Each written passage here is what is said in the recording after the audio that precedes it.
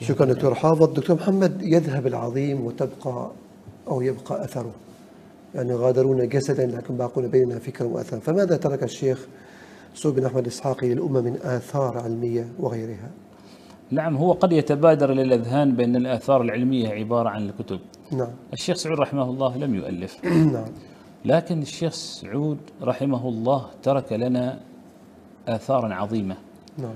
وهم أولئك التلامذة نزوة في فترة من الفترات كانت مزدهرة بحلقات العلم نعم. منذ الصباح وحتى بعد صلاة العشاء نعم كانت مزدهرة الشيخ عبد الله السيفي الشيخ سيف الكمياني نعم. الشيخ جمعة بن قاعد نعم. الدكتور إبراهيم الكندي نعم. الشيخ يحيى الكندي نعم يعني يكاد ما يمر وقت إلا وتجد حلقة من حلقات العلم مزدانة بطلبة العلم نعم فهذا بالفعل يعتبر من الآثار العلمية القوية. وهنا نستسمحك عذرا دكتور محمد.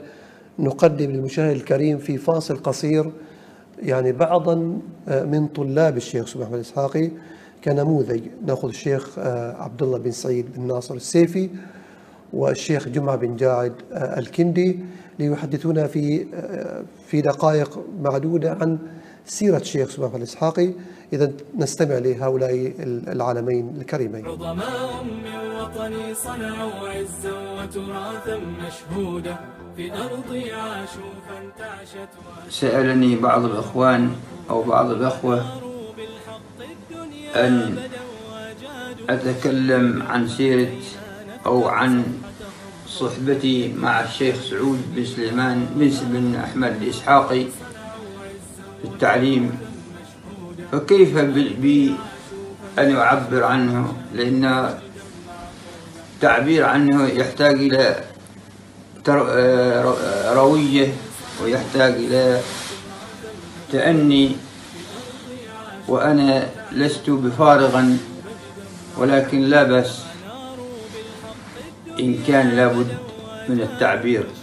فالشيخ سعود يعجز لسان أن يعبر عن محاسنه. من محاسنه التوسعة وسعة البال للطلبة لا سيما أنا لما كنت عنده يقدمني أكثر من من غيري. ولا أدري ما هو السبب اللي رحمت بي أو ما شابه ذلك.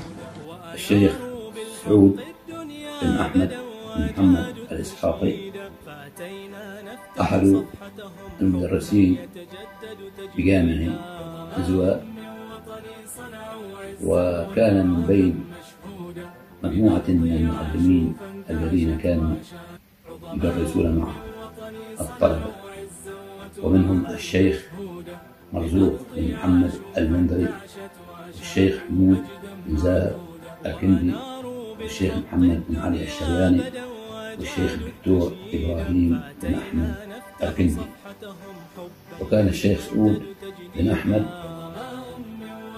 له الباع الطويل في علوم العربية من نحو وصرف وبلاغة ومعاني وبيان وبديع وكذلك في علوم الفقه والمواريث. وما إلى غير ذلك من مختلف العلوم. وقد تشرفت بالتلمذة عند هذا الشيخ الجليل وكنت قائدا له من منزله إلى الجامع ومن الجامع إلى المنزل. وكان كثيرا ما يسرد بعض القصص. ونحن ذاهبون إلى الجامع أو عائدون إلى البيت. إما أن تكون هذه القصص عن الصحابة أو عن التابعين أو عن علمائنا الأخيار أو أئمتنا الأطهار. وقد استفدت والحمد لله منه كثيرا. وقد فحت همتي بذكر أخبار هؤلاء الأطهار.